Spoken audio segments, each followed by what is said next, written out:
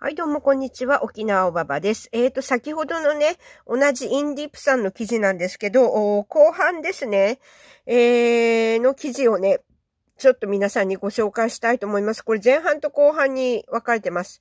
で、後半なんですけど、なんとですね、えー、これ1年ごとの統計じゃないんで、えー、詳しい統計はちょっと分かってないんですけど、えー、生命保険業界です。はい、生命保険業界の損失額。はい、3年間ですね。それまでの年と比べてですね。はい。えー、すごい損失額が出てます。はい。えー、とんでもないですよ、これ。はい。120兆円でございます。つまり、あの、支払った額が120兆円、えー、いわゆるね、コロアンティーナの事件のね、はい。前の年に比べて平均して、ね、平均した価格よりもね、120兆円も3年間で多く支払っているということです。はい、えー、ちなみにね、えー、一人当たりの、こう、支払い額の平均ですね。これは、あまあ、日本とそんなに変わらないと思います。えー、2300万円となっております。日本円で。はい。まあ、そういうことなんでね。これでね、まあ、わかりますよね。何が言いたいか。はい。えー、まあ、おかしなことが起きているということです。超過のね、超過ですね。で、まあ、今ね、まあ、なんていうのかな、コロアンティーナの大冒険も廃れてますからね。はい。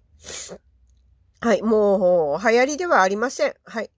えー、なので、これがね、えー、どうして、こういった、あ巨額の金額になってるか。はい。えー、まあ、これはわかりますよね。言わなくても。まあ、そういうことでございます。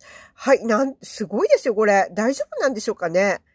120兆円ですよ。桁が違いますよ。はい。これ円に直したんですけどね。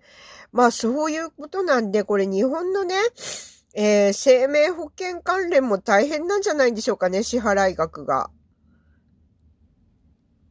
どうなんでしょうね。やっぱ生命保険会社は今、ちょっとね、厳しいんじゃないかと思いますよ。はい。だってね、まあ、食べ、まあね、あの、ガンチェキ岩尾ちゃんも増えてますしね、激増してますよね。で、なんていうのかな。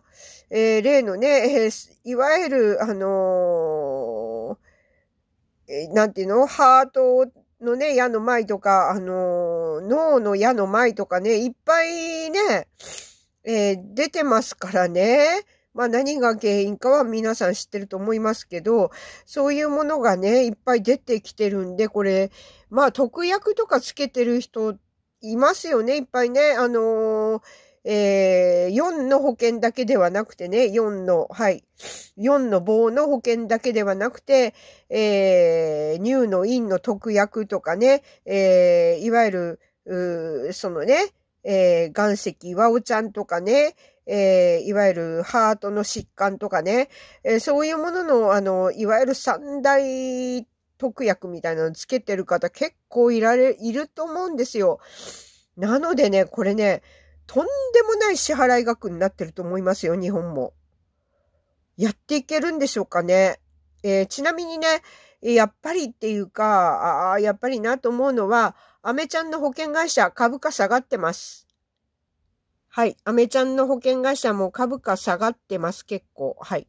えそういうことですよ。なのでね、これ、保険関連ですね。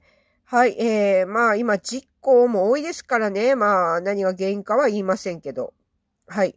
交通実行も多いですからね。なので、えー、まあ損保にしろ、政府にしろね。えー、とんでもない時代が到来してるということですね。はい。まあそういうことでございます。まあ保険が大変だということですね。はい。えーまあ、そういうことでございます。落ち着くまでね、これ大変だと思います。まあ、落ち着いちゃえばね、一旦落ち着けばまあ、あれなんでしょうけど、落ち着くっていうことイコールね、え多分日本だと半分ぐらいがね、もうどっかに、えー、行ってしまうっていうことなんでね、まあ、これもどうなんだろうなと思います。まあ、はい、えー、なんていうのかな、まあ、い、まあ、行ってしまう人は行ってしまうんですけどね、もうどうしようもないです、もう。で、まあ、デトックスとかね、進めてもね、効かない人は効かないですしね。で、た、多分ね、デトックスしてる人なんてね、1割ぐらいしかいないんでね、あんまり希望は持てないですよね。あんま、こう言うのはあれなんですけど。でも、とりあえずね、えー、我々は、あ頑張っていきましょう。でね、身内にね、そういう方いたら、まあ、デトックスはね、きちんと、あのまあ、デトックスって言わないでね、健康にいいからとか言ってね、まあ、いろんなチャーガチャとかね、飲ませたりとか、まあ、あするのが一番だと思います。はい。まあ、そんなこんなでございます。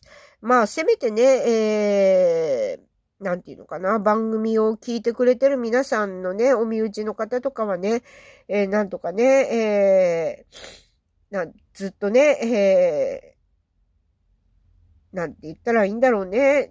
ずっと生きていてほしいと思うんでね。はい、えー、私の正直な感想でございます。はい、えー、なのでね、まあデトックスは、あでも食べてない人もやるんですけどね、これはね。はい、えー、頑張りましょう。それでは皆さんまたごきげんよう。沖縄おばばでした。で、保険業界の方はね、えー、転職考えた方がいいかもしれませんね。はい。